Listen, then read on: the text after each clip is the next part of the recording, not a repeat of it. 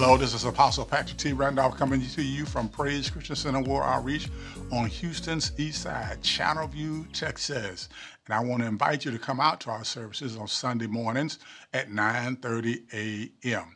1100 Dale Dale again in Channelview, Texas. The number again is 281-457-LOVE. That's 281-457-5683. I would love to have you come and share with us on, on any Sunday that you choose.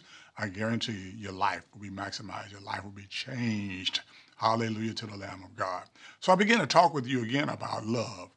And I want to share again the fact that love is very important. Uh, we have to be mindful of how we treat one another, how we treat people, period, in general. You know, um, you can you can speak to people, you can talk to people in ways that are hurtful, even though you think that you are in, walking and talking in love. Well, we the scripture says to us that we are that when we walk, we, we love God's law, nothing shall offend us. Well, that's true, but at the same time, uh, we ought not give offense.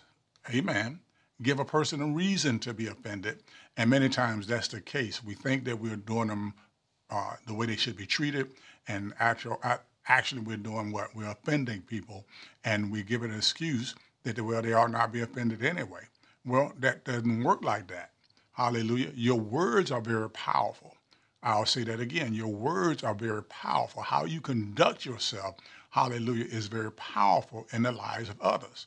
And you can be so offensive to people, hallelujah, that they don't even want to come around you. Wow.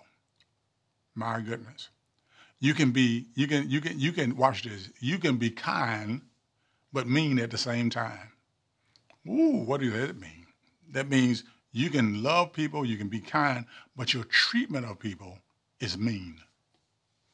You have all the good intentions you would like to have. You can just love them, love them, love them. But if your actions towards people say otherwise to them, then your love is useless.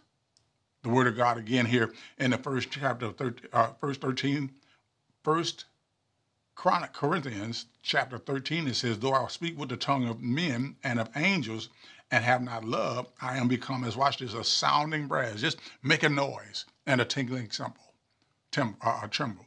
And so, a cymbal.